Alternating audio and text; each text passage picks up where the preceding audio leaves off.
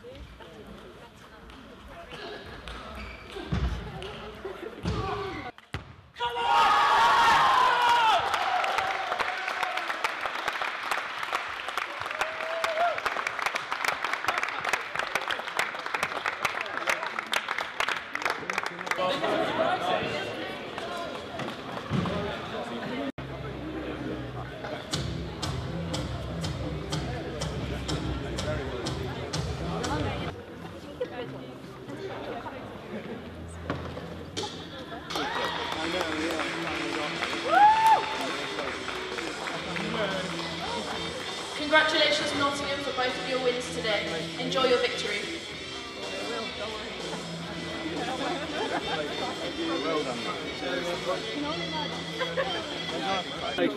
Up above your head. Well, nah, Liam, you're not in the middle.